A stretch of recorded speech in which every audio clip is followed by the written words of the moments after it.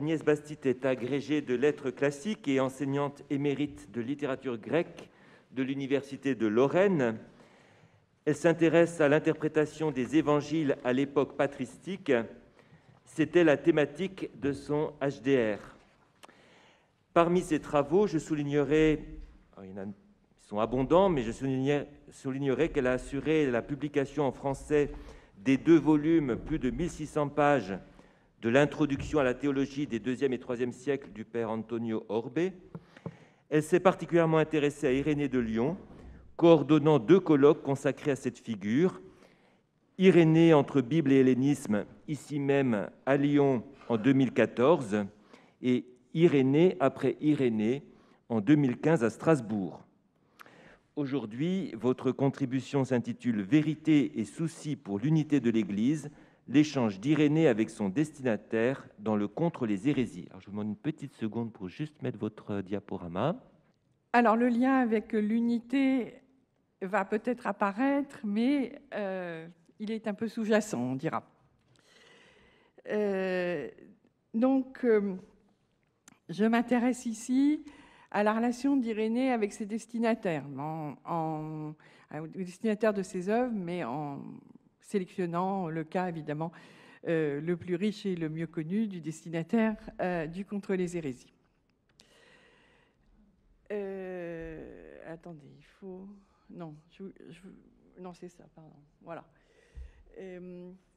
donc là, je vous projette un petit tableau où j'ai schématisé le corpus irénéen tel que Eusèbe le connaissait, c'est-à-dire la liste des œuvres d'Irénée qui est donnée par Eusèbe dans l'histoire ecclésiastique, avec les titres et les destinataires. Donc vous avez euh, un certain nombre d'œuvres qui sont directement adressées euh, à quelqu'un de particulier, par exemple l'Épidéixis ou exposé de la prédication apostolique, et euh, un ouvrage dont le titre au départ c'est à Martianus. Il y a aussi traité donc à Florinus, etc. Et j'ai mis dans la partie droite du, tableau euh, les destinataires élargis, hein, c'est-à-dire qu'on voit bien par exemple que, euh, pour continuer euh, sur la prédication apostolique, que lorsqu'Irénée s'adresse à Martianus, il a en vue des débutants dans la foi. Donc en gros un public plutôt de néophytes et peut-être plus largement la communauté lyonnaise, ou moins parmi les chrétiens les plus récents. Voilà. Néanmoins, donc, euh, ne pouvant pas, dans le cadre de cette contribution, euh, étudier euh, toutes les relations, la relation à Florinus est particulièrement intéressante. je me suis limitée donc à, évoquer l'échange d'Irénée avec le destinataire du traité contre les hérésies. J'espère, ce faisant, non seulement éclairer les relations entre l'auteur et son destinataire, mais aussi mieux comprendre les intentions d'Irénée. Pourquoi écrivait-il Pour qui Dans quel but En quoi la relation au destinataire a-t-elle influé sur son écriture et l'élaboration de son ouvrage? Il va par ailleurs de soi que l'œuvre éditée, surtout dans le cas des cinq livres de la Dersus Ereses, était destinée à un lectorat plus large que le destinataire immédiat ou euh, son cercle. Du moins, cela apparaît à partir d'une certaine étape de l'écriture d'Irénée, c'est-à-dire spécifiquement avec le livre 3. Certaines pistes laissent en effet supposer qu'Irénée visait certes à conforter la foi des frères et à les mettre en garde contre l'erreur, mais au-delà, qu'il visait les groupes hérétiques eux-mêmes et euh, avait l'ambition de les faire revenir vers la vérité de l'Église. Dans un premier moment, euh, le destinataire et son accord initial, son deal avec Irénée, d'après le prologue euh, de l'Adversus Ereses. Le passé d'Irénée avant les premières pages de l'Adversus Ereses est mystérieux. Eusèbe, à partir de la brève lettre de recommandation des confesseurs lyonnais, nous apprend qu'il était presbytre vers 177, ce qui reste une désignation assez générale, pouvant se rapporter à l'époque aussi bien à un évêque en charge d'une communauté qu'à un membre du presbytérium d'une église. Irénée affirmant lui-même que pour enseigner, il convient d'avoir atteint environ la cinquantaine, c'est probablement l'âge qui est le sien au moment où il entreprend la rédaction de l'Adversus Ereses. Il nous apparaît, à la lecture de son premier livre, comme un homme dans la force de l'âge, ayant atteint sa pleine maturité intellectuelle, animé d'une vive ardeur polémique, ne manifestant pas encore les signes de découragement ou de fatigue qu'il laisse euh, transparaître dans la lettre traitée à Martianus. Bon, J'ai vu que dans ton introduction. Dès le début de son grand ouvrage, euh, on perçoit la double préparation qu'il a rendue possible. Une préparation directement orientée vers l'exposition des doctrines gnostiques d'une part, et de l'autre, une préparation plus large, plus difficile à cerner, mais non moins évidente, qui repose sur une formation à l'analyse de la pensée, à la réfutation logique, à la force et à la clarté de l'expression. En ce qui concerne la préparation immédiate, Irénée la présente comme provenant de deux sources, mentionnées dans l'ordre, semble-t-il, la lecture de leurs écrits, puis le contact direct avec les docteurs gnostiques. Je cite, Après avoir trouvé les écrits de ceux qui se disent eux-mêmes disciples de Valentin, et après en avoir rencontré quelques-uns, ayant saisi leurs pensées, j'ai jugé nécessaire de te divulguer, etc. Cette interpellation en tu du destinataire dont on remarque qu'il n'est pas désigné nommément, sans doute pour préserver une certaine généralité de l'entreprise irénéenne, n'intervient qu'au début de la seconde partie du prologue général. Après une première partie, où Irénée présente un tableau de la situation créé par l'enseignement des docteurs gnostiques, qui détournent de la vérité beaucoup de fidèles sans défense. Le premier mot du livre, c'est la vérité. Il insiste sur la menace qui guette ces chrétiens, pas dans la traduction naturellement. Euh, il insiste donc sur la menace qui guette ces chrétiens présentés comme des brebis face à des loups revêtus de peau de mouton, en danger de se trouver ravis par notre faute, écrit Irénée, en se présentant implicitement comme un pasteur.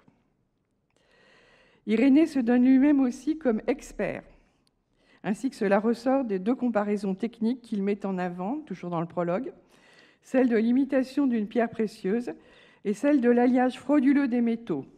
Deux cas qui requièrent l'expertise d'un spécialiste, seul en mesure de contester, c'est-à-dire en réalité de dénoncer, dit Lengsai, du fait de sa compétence, la contrefaçon. C'est sans doute à ce titre qu'il a été sollicité par son destinataire commanditaire, qui, je cite, cherchait depuis longtemps, selon Irénée, à s'informer sur la pensée des gnostiques. Et c'est aussi à ce titre, comme cela ressort du prologue, qu'il lui soumet le résultat de son travail. La sollicitation a pu commencer par de discrètes allusions avant de devenir une demande explicite. Au dire d'Irénée, en effet, la rédaction de l'Adversus Ereses est le résultat d'une commande. Ah, merci. Euh, D'accord.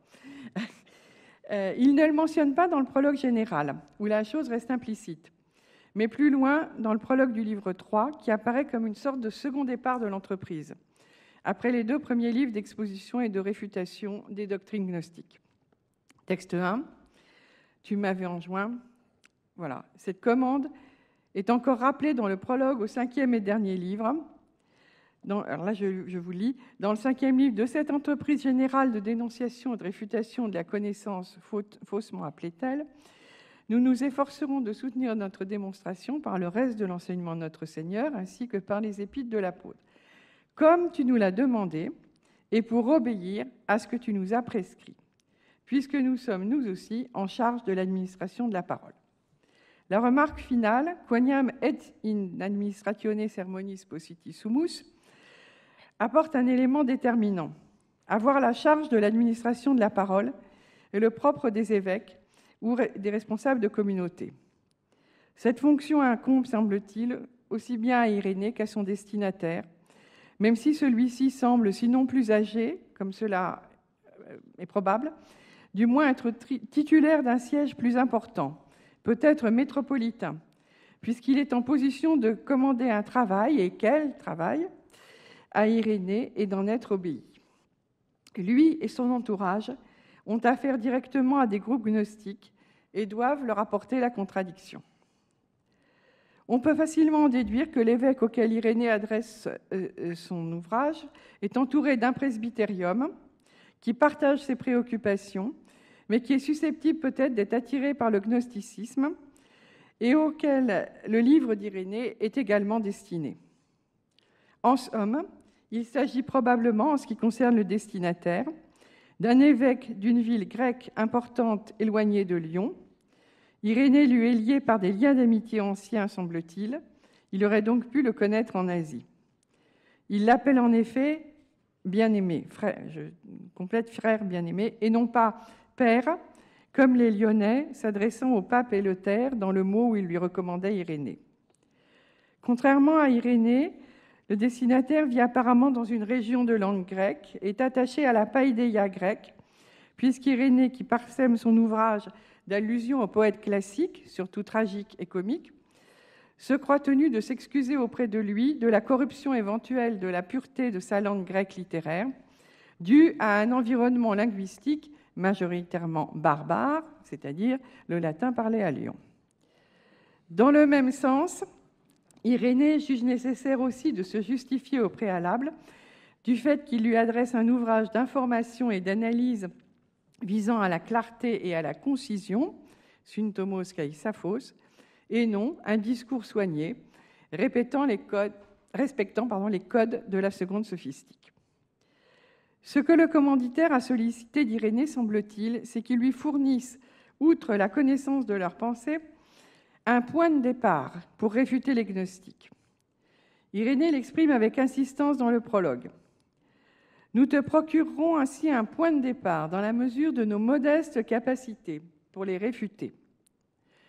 Ce sont évidemment des formules de courtoisie euh, codées. Et il répète vers la fin, nous avons, nous avons mis notre point d'honneur, alors que depuis longtemps tu cherchais à connaître leurs pensées, non seulement à te la rendre manifeste, mais à te procurer des ressources pour en montrer la fausseté.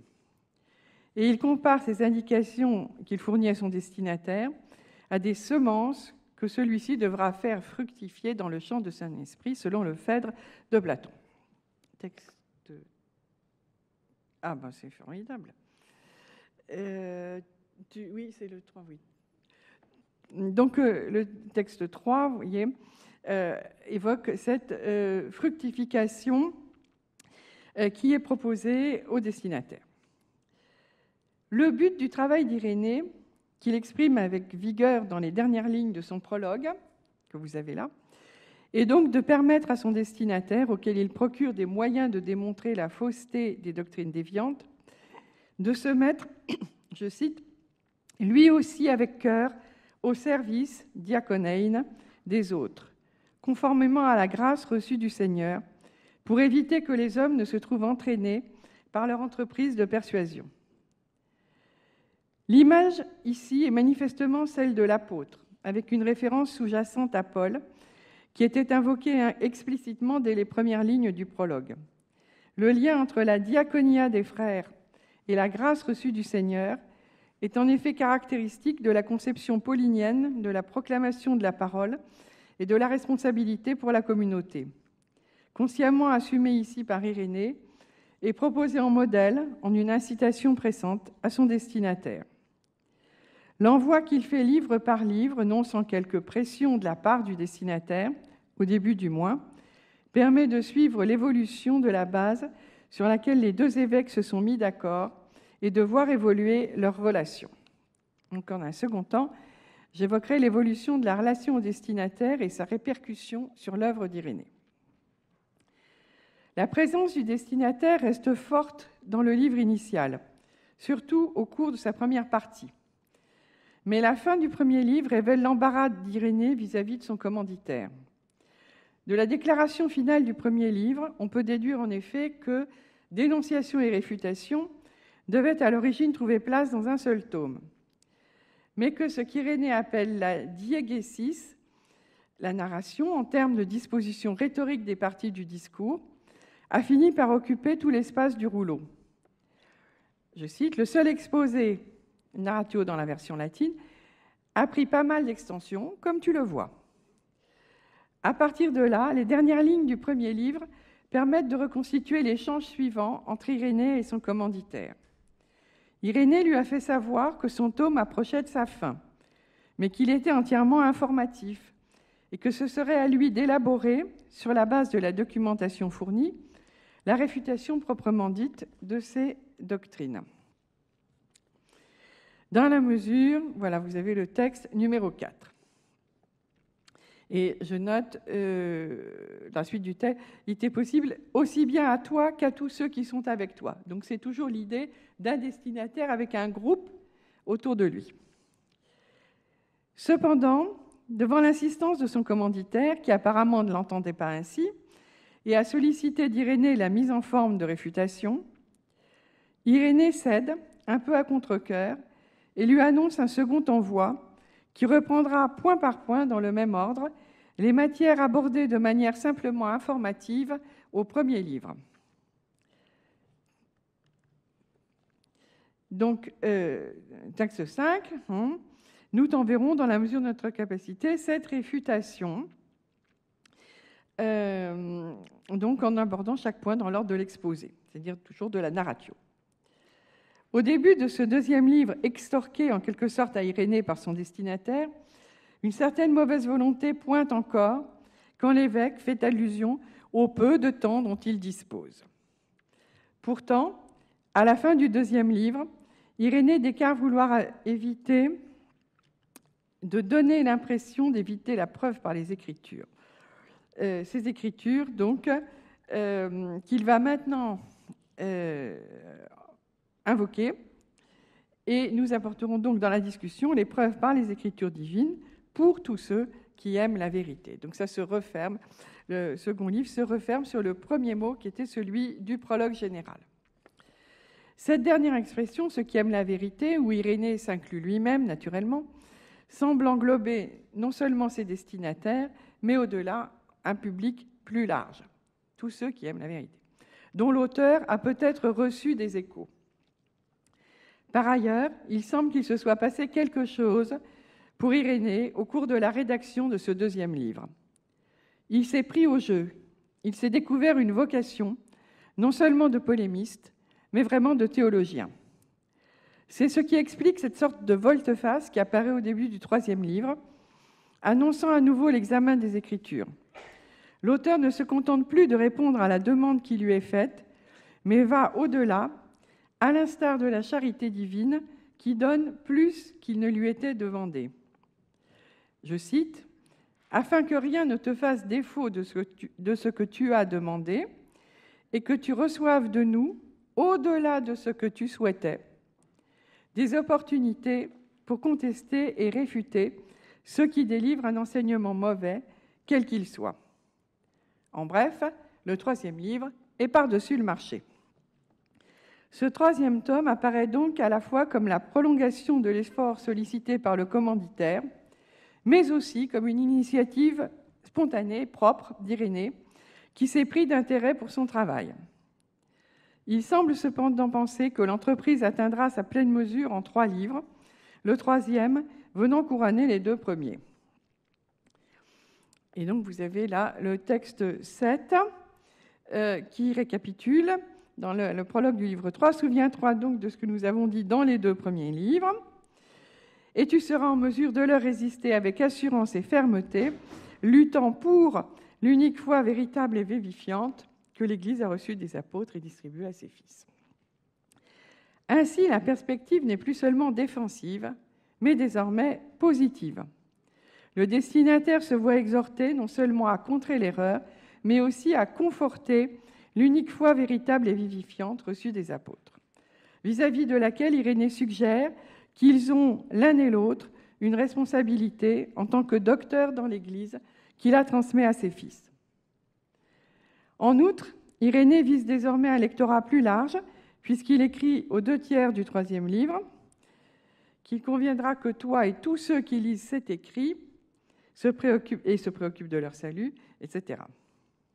À la fin du troisième livre, il prend une seconde fois lui-même en main son entreprise en annonçant un nouveau tome. C'est une série. Hein. On croit que la série est finie et puis en fait, il y a, une, voilà, une nouvelle saison qui...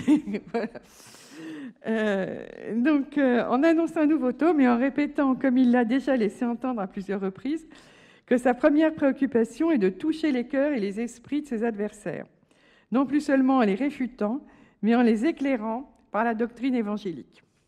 Au début du quatrième livre, Irénée s'efforce de faire partager sa préoccupation à son destinataire et l'exprime sous forme fortement dramatisée. La métaphore du danger de la navigation en haute mer se trouve ici renouvelée par l'ironie de l'emprunt des catégories valentiniennes d'abîme, butos, et d'inconnaissance, agnoia, déjà évoquées dans le prologue général, où il décrivait Exhorte-les à se garder de l'abîme de l'inconnaissance. Cette ironie, cependant, n'efface pas, au contraire, elle avive l'expression de l'anxiété pour le salut des égarés. Il est remarquable en effet qu'en ce début de quatrième livre, Irénée insiste sur la destination de son travail qui s'exprime par le recours à une succession de subordonnées finales. Vous avez ici pour que tu reçoives de quoi réfuter, pour que tu ne les laisses plus avancer, mais pour que tu fasses en sorte que.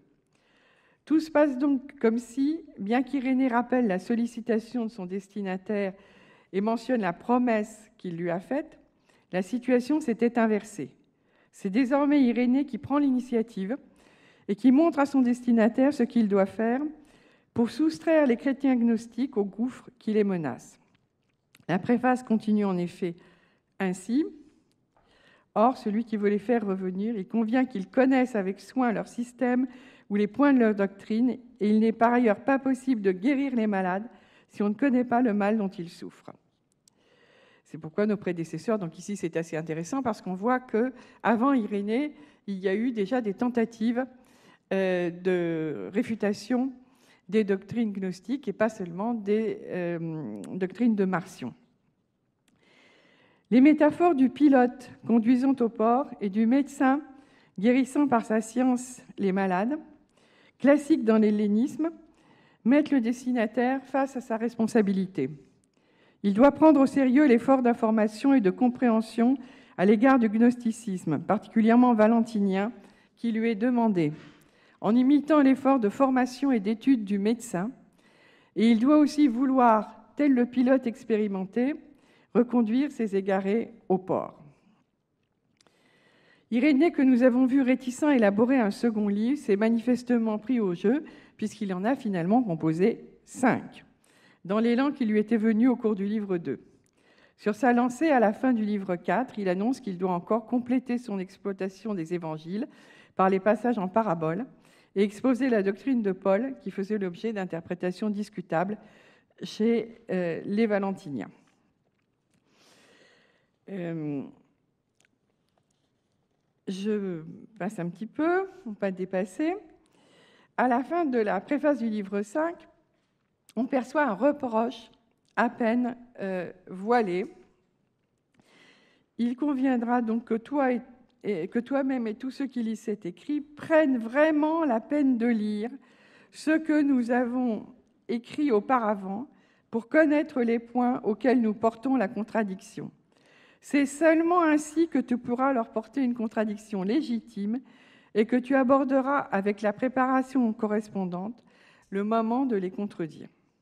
Irénée reproche donc implicitement à son commanditaire, comme il pourrait le faire à un certain nombre de lecteurs d'aujourd'hui, sa négligence et sa désinvolture à l'égard des doctrines gnostiques qu'il a fait l'effort de lui exposer clairement et dans le détail.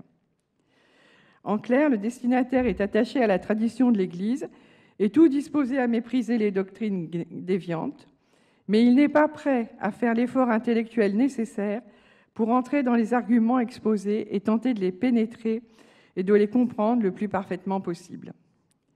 Aussi, comme il l'avait déjà fait dans la seconde partie de la préface au quatrième livre, Irénée insiste, avec une, une autorité à la limite de la brusquerie, sur le fait qu'on ne peut se dispenser de cet effort si on désire porter aux adversaires une contradiction légitime.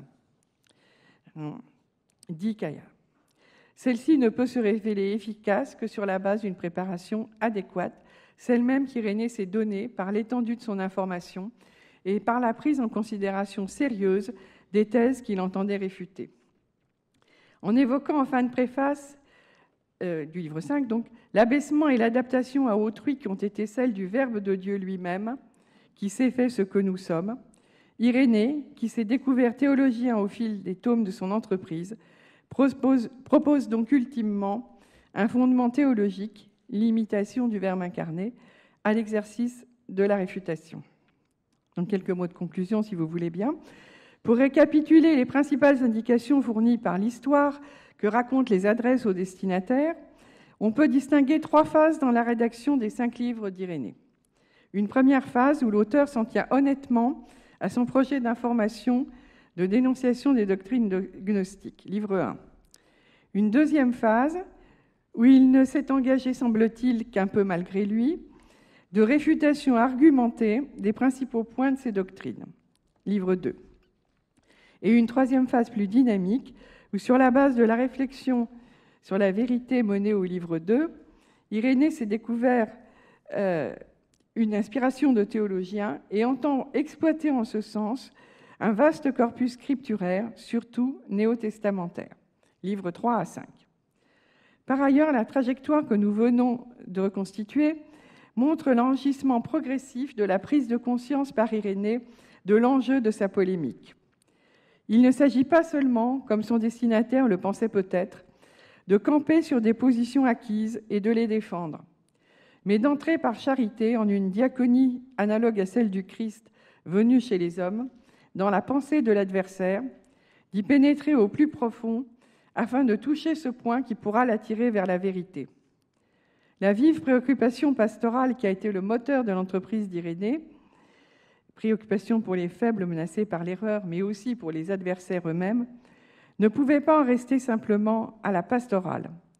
Elle devait s'enfoncer dans le questionnement et l'approfondissement doctrinal pour parvenir à faire jaillir une vérité plus vraie, si on peut dire, plus puissante et plus attractive que l'erreur. En posant cette démarche, en revendiquant le, détour par la prise en compte de la pensée adverse et par l'approfondissement du donné scripturaire comme non facultatif, Irénée a en même temps inventé la théologie chrétienne, où réception doctrinale de la vérité révélée et préoccupation pastorale pour autrui demeurent indissolublement liées. Le discours destiné à Marcianus montrera un autre aspect de l'écriture d'Irénée, plus simple, moins novatrice, davantage traditionnelle, mais il confirmera que pour lui, écrire n'est jamais un simple travail de cabinet, il s'inscrit dans un, dans un contexte à la fois ecclésial et humain. Je vous remercie.